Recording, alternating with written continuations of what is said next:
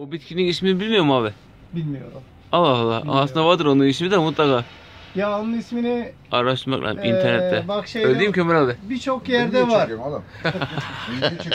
Birçok birçok yerde var yani.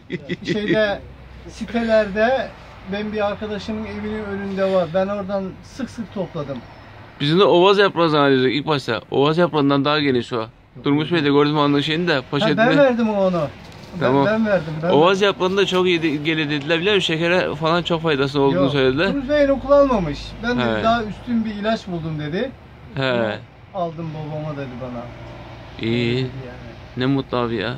Ya onu şey yaparız ya. Herkes de var ya. Ver be abi ver be bu adama hayırlı ya. Bizim hanımda da mesela şeker Ya var. ne demek ya benim Bende de şeker var. Benim. Allah Allah. Ama ben şekeri e, ne Dengeliyim. yapıyorum?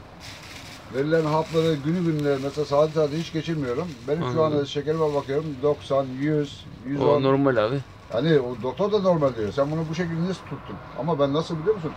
Gecede 10 sefer tuvalete gidiyordum. Benim şeker de işte Aa, öyle. 10 sefer tuvalete gidiyordum. Benim şeker de böyle aynı şekil. Devamlı Anladın idrar mı? yok ya. Biz- Bir İki, de yüz, zayıflamaya başladıydım. He. Bana dediler ki sen diyorsun ki bana diyorsun ki abi sen zayıflıyorsun dedim mesela. He. Ve kavma yer yaptım. Lan ne oluyor ne gidiyor falan derken bir doktora çıktım. Doktor "Ee, şeker 300 bilmem kaç. Eyvah.